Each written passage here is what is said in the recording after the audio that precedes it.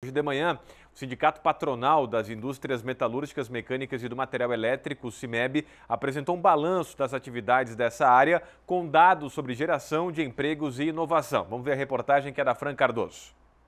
Importantes para o fortalecimento da economia local, as indústrias metalúrgicas, mecânicas e do material elétrico de Blumenau, Pomerode e Gaspar geram quase 14 mil empregos diretos e produzem para todo mundo. Hoje o CIMEB representa um setor é, muito grande, muito variado. E hoje Blumenau é polo, por exemplo, na fabricação de transformadores, líder da América do Sul, líder na fabricação de selecionadoras de grãos na América do Sul, na parte de hidrosoluções, é, produzimos quase um milhão e meio de bicicletas por ano no, aqui em Blumenau, enfim, então mostra de fato a força do setor eletrometal mecânico de Blumenau, Pomerode Gaspar, que é a base de atuação do CIMEB.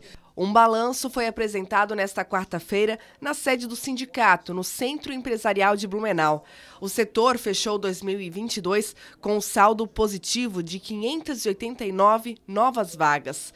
2023 está cheio de projetos, um deles realizado recentemente para incentivar que os jovens tenham interesse e trabalhem no setor. O CIMEB é um sindicato, mas com perfil associativista. Para se ter uma ideia, em 2019 foi criada uma central de negócios. Através dela, as empresas podem fazer a compra de materiais em conjunto. Nesses últimos quatro anos, foram negociados 40 milhões de reais. Isso melhora a competitividade das empresas.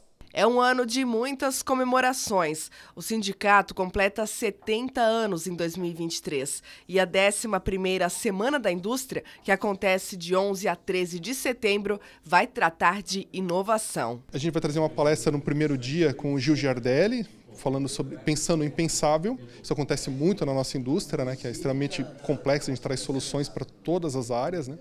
É o segundo dia já é sobre indústria 4.0 uh, cases de sucesso, a VEG, a GTS, empresas com cases impressionantes, né? É, e no terceiro dia, a comemoração dos 70 anos. Então, é um, é um ano um pouco mais especial, né? Dessa 11 primeira edição do, da Semana da Indústria.